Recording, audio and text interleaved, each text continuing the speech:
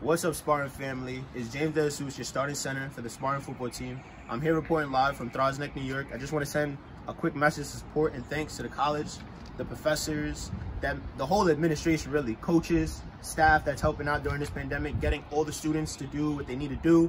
You know what I'm saying? Getting done what they need to get done for us to get to that next level.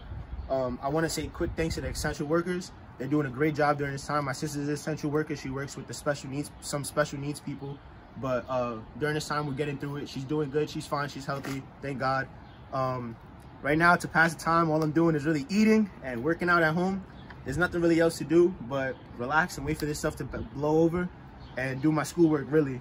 Uh, I volunteer in a certain way. I bring um, groceries to older people in my grandmother's building so that they can have food during this time because they're really high risk. And everybody, I just want to send a quick message to follow CDC guidelines, wearing masks outside. Right now I'm in front of my house, but wash your hands for 20 seconds.